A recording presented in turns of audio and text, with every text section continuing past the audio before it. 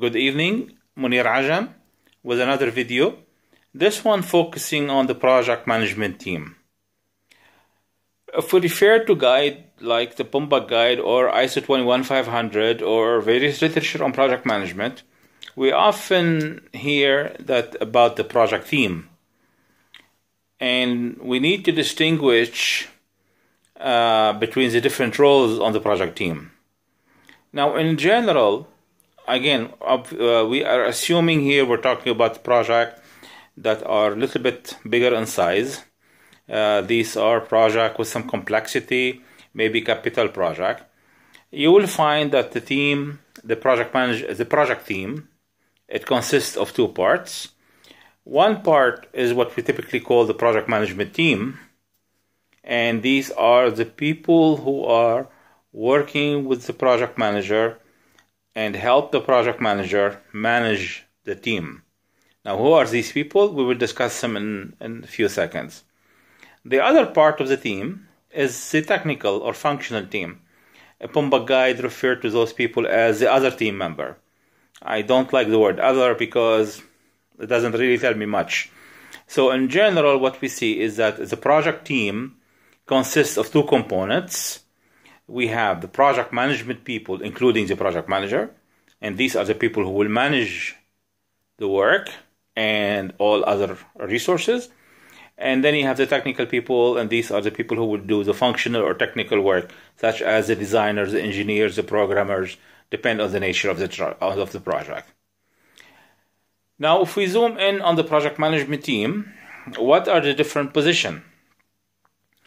Obviously, uh, it varies. It could be as little as three or four people working with a project manager, maybe a planner, maybe a project control person.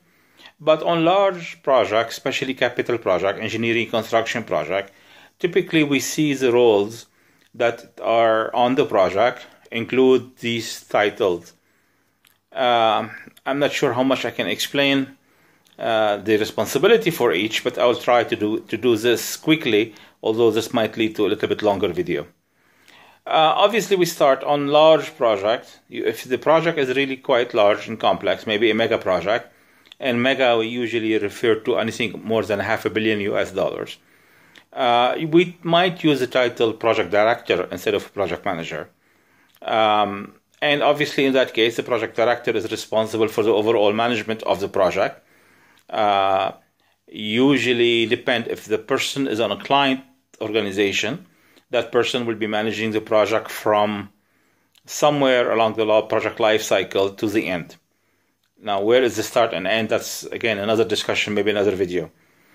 But the majority of the project so basically the early development maybe phase if you if anybody is familiar with the camp model so a project director will be responsible for the development phase and the delivery phase and the delivery phase includes things like the implementation stage.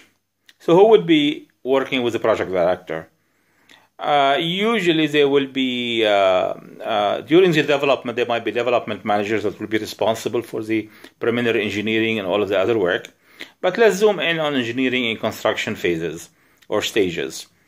We will typically have a position that's called an engineering manager and a construction manager and maybe a services manager.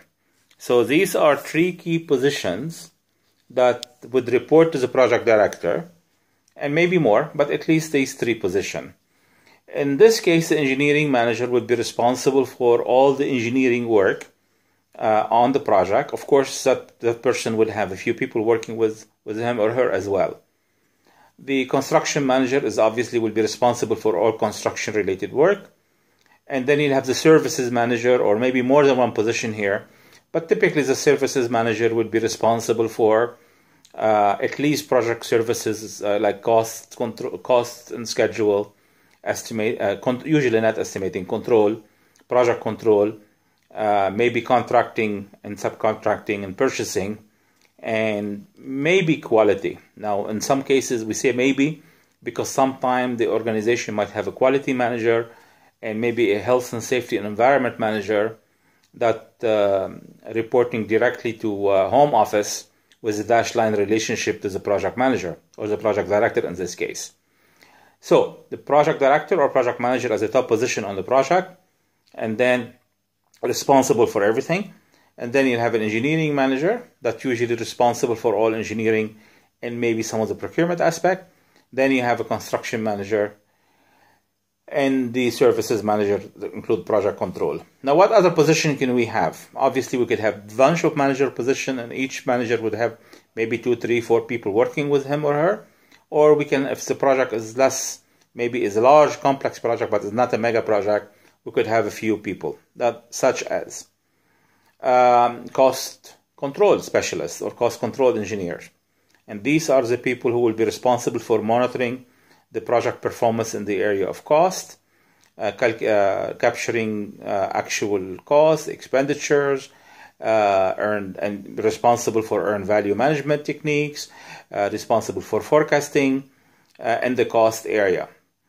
Then we could have planners who would help plan the project, and scheduler who are really more the people who would be using software like Primavera. In the large construction project, we would use uh, Primavera. Uh, the schedulers and the planner would also be responsible for uh, planning the project, and then during con- uh, control, they will be responsible for control, monitoring progress, uh, checking, verifying progress against plan, and of course, forecasting. In addition to these people, we would have quality, safety, health, and each one of those people would be responsible for the management of that function. Um, and they will be accountable for that function, of course, reporting to their manager or their, to the project director, depend on the size of the project. Uh, we could have subcontract administrators. Now, if you are on the client organization side, this person that would usually work with the vendors and the main contractors. Um, now I'm mentioning all these positions. These are could be on the client side, on the project owner side, or could be on the contractor side. If they are on the project owner side, usually the teams are smaller, and of course they over they depend heavily on the day-to-day management to the contractor. So although you know a project team on the owner side might be small, relatively, you know, on the contractor could be huge. Uh, just give an example. Um, one of the projects I've been involved in is a mega project years ago. It was I was on the owner side. It was a cost plus, so it's usually heavier responsibility on the client organization. Our project management team, we had about 20 plus people on the project, uh, including the project director, the engineering manager, the construction manager. We have the project services manager. We have cost uh, control, project control, schedule control, quality, safety. Um, we also have the what we call the technical discipline engineers, and these are the people they are like project engineer, but they will be responsible for a certain discipline. For example, the instrumentation and control engineers, uh, offsite and utilities engineer. Uh, these will be positions that actually function more like uh, a client rep, a design review, supervision, and also responsible for an area. Now, on large engineering construction project, we also have on the engineering side. Typically, we have what we call the project engineers, and the project engineers are usually they could be uh, are usually uh, they could be they could have two roles. They could have area responsibility. You know, for example, obviously, again, we're talking about large project. So maybe under the engineering manager, we'll have area one, and we have a project engineer responsible for area one a project engineer responsible for area 2 and another one responsible for area 3 now in construction we might call these people resident engineers uh, this is another title we use or construction engineers resident engineer is more like a manager uh, like the project manager for a certain area but usually a project engineer or resident engineer would be responsible more for getting the work done in a quality manner and they're not necessarily responsible for saying like schedule and project control. They have to work and comply and refer to the cost uh, plan and the budget, and they have to refer to the schedule, but they're not really, probably they might not be accountable for them. Obviously, again, this might be different from organization to an organization. Uh, now, of course, on the contractor side, you could have, uh, sorry, let me go back to the project engineer. So as we said, the project engineer could be responsible in an area, and they could also have discipline responsibility, such as civil or electrical or mechanical. And in those situations, there will be more like design supervision or maybe the link uh, between the contractors and the home office organization. On the construction site, we will have the construction engineer or site engineers. Now, again, this could be the same person, same position, or some situation, maybe a construction engineer is more responsible for some engineering aspect, aspect or maybe clarifying the engineering for the work construction site, where the site engineer are more site supervision.